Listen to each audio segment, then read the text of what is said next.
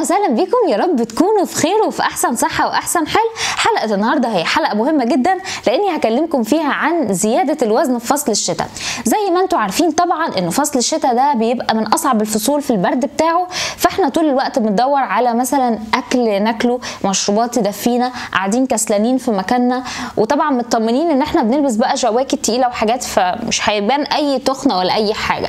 لكن بنتفاجئ إن إحنا وإحنا طالعين من الشتاء وداخلين للصيف إن وزننا زاد بشكل كبير ونحاول بسرعة ندور على الدايت الفلاني والرياضة الفلانية ومجهود كبير جدا علشان نحاول نرجع تاني زي ما كنا. في حلقة النهارده أنا هختصر عليكم المشوار ده كله بإني هديلكم 10 نصايح مهمة جدا لو اتبعتوها خلال فصل الشتاء. مش هتزيدوا في الوزن وكمان هتخسوا مش أقل من 10 كيلو وهتدخلوا على فصل الصيف وانتوا كده بكامل ثقتكم في نفسكم.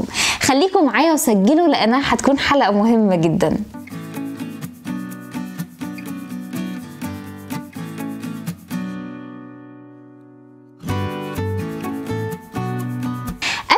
حاجة ما تنسوش like الفيديو subscribe في القناة وفعلوا علامة الجرس علشان توصل لكم كل ال videos اللي أنا بعملها أول بأول. لو عندكم أي سؤال أو أي استفسار سيبهولي وأنا هجاوبكم عليه.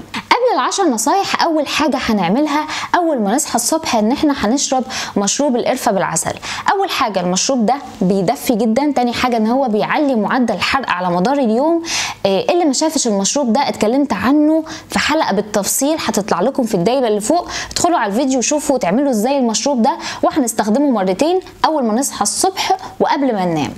أول نصيحة مهمة جدا وهي الحركة. معروف إنه الشتاء عند البعض هو عدو الحركة. يعني إحنا في الشتاء مش بنتحرك تماما بنبقى بردانين متغطيين بقى بالجواكت والبطاطين ومتحركش خالص. في حين إن إحنا لو اتحركنا هنكسب حاجتين مهمين جدا. أول حاجة إنه الجسم هيبقى مش بردان هيبقى الجسم يعني متدفي. تاني حاجة إن إحنا هنحرق سعرات حرارية. فيعتبر دي حاجات مهمة جدا. وأنا هنا مش بتكلم على الرياضات العنيفة أو الرياضات الكارديو. أنا بتكلم على حاجة بسيطة جدا زي ان انت مثلا ممكن تمشي أو ممكن تطلع وتنزل السلالم. وكمان حتى في فيديوهات يعني عبارة عن مدرب يمشي وتقدر تمشي قدامه من ربع لنص ساعة في اليوم. فدي فيديوهات مهمة جدا. تاني نصيحة مهمة جدا وهي بخصوص السناكس. أو الوجبات كده اللي بتاخدها مش الوجبة الأساسية اللي بتروح كده تاكلها وأنت بردان. طبعا بنلاقي إن إحنا بناخد وجبات كتير مسكرة ونقول أصل إحنا بردانين ودي هتدفي. الحقيقة إن إحنا ممكن السناكس ناخد حاجات صحية جدا. أول حاجة هي بتشبع تاني حاجة إنها مفيدة جدا للجسم تالت حاجة إنها مش بتزود الوزن وبتدي سعرات صحية جدا جدا للجسم. ممكن تاخد برتقان أو زبادي أو بيض أو تونة أو سلطة خضروات. أي حاجة من الحاجات دي هو سناك محترم جدا سعرات صحية مفيدة جدا مش هيتخن وفي نفس الوقت إن أنت هتاخد حاجة صحية وهتلاقي نفسك إن أنت شبعت والحاجات دي كلها بتملى البطن فتعتبر من أفضل الحاجات اللي ممكن تاخدها وأنت جعان. تالت نقطة مهمة جدا وهي نقطة المشروبات. زي ما أنتم عارفين الشتاء مع البرد بنضطر إن إحنا نشرب فيه حاجات كتير فمثلا ممكن ناس تشرب هوت شوكليت أو سحلب أو مثلا نسكافيه أو كابتشينو وبنشرب كذا مرة في اليوم مش مرة واحدة وطبعا بنحط من ملعقتين لثلاث ملاعق سكر في الكوباية الواحدة. فالكوباية بتعمل لها بتاع 400 500 سعر حراري واضرب في عدد كوبايات اللي في اليوم. يبقى أنت كده قبل ما تاكل أنت كده خدت كمية سعرات رهيبة. مهم قوي إن إحنا اولا أول حاجة نقطع السكر نهائيا نهائيا. السكر بيعطل الحرق ووحش جدا فممكن نستبدله بحاجات تانية زي مثلا سكر دايت يكون نوع أنت مثلا بتحبه أو بتستخدمه أو عسل النحل. عسل النحل مسموح مثلا بملعقتين لثلاث ملاعق في اليوم بحد أقصى. وفي مشروبات صحية ممكن تشربها تدفيك وفي نفس الوقت ما تبقاش زودت وزنك زي مثلا القهوة. أو القرفة أو الشاي الأخضر أو ممكن مثلا شوربة تكون عاملها بس الشاي للوش بتاعها. كل الحاجات دي مشروبات جميلة جدا وصحية جدا وفي نفس الوقت مش هتكسب الجسم أي سعرات. رابع نصيحة مهمة جدا وهي إن أنت لازم قبل آخر وجبة أخدتها لغاية لما تنام يكون على الأقل في فاصل خمس ساعات.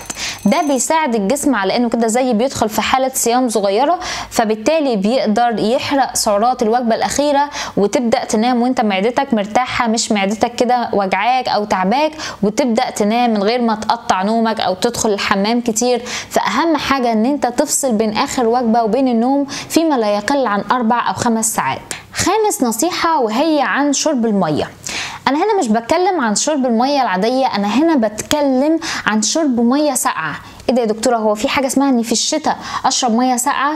إيه الحقيقة فعلا في دراسات كتير أثبتت إنه المية لما بتدخل الجسم وهي ساقعة فالجسم بيبذل طاقة ومجهود كبير علشان يحول المية لدرجة الحرارة بتاعه الجسم بتاعته وبالتالي بيبدأ يحرق سعرات. فتحاول لما تيجي تشرب مية لازم تشرب مية ساقعة وزي ما قلنا فيما يعادل لترين في اليوم اللي هو 8 كوبايات فمهم جدا جدا إنك تطبق النصيحة دي. سادس نقطة بقى مهمة جدا وهي النوم. معروف جدا إنه النوم مهم لكن النهاردة هقول لكم على حاجات مهمة جدا بخصوص النوم. النوم أقل من سبع ساعات غلط جدا. أقل حاجة لازم تنامها يعني من سبعة لأكتر. طيب ليه؟ لما بتنام أقل من سبع ساعات اللي بيحصل إنه بيبقى فيه اضطراب في النوم والهرمونات كلها بتتلخبط وبتزيد هرمونات الجوع وبالتالي بتبدأ تدور على الأطعمة اللي هي سعراتها عالية. علشان كده معظم الناس اللي بتسهر بتعاني من زيادة في الوزن. فأهم حاجة إن أنت تنام فترة طويلة لأن النوم ده بيساعد الجسم إن هو أصلا بيحرق الدهون وأنت نايم وفي نفس الوقت إن أنت هتبعد عن أي يعني خطر إن أنت تروح تاكل حاجات مش صحية. فأهم حاجة إن أنت تنام على الأقل من 7 ل 10 ساعات في اليوم لو قدرت. أما سابع نصيحه وهي بخصوص الكربوهيدرات. طبعا أنا في الأول قعدت أقول لكم نبعد عن الأكل الغلط وكده بس طبعا الكربوهيدرات ده عنصر مهم جدا والجسم بيحتاجه في الشتاء. فمهم إن أنا ما أقطعش الكربوهيدرات لكن أخدها في شكلها الصحي وأفضل أنواع الكربوهيدرات اللي ممكن تاخدها هي البطاطا.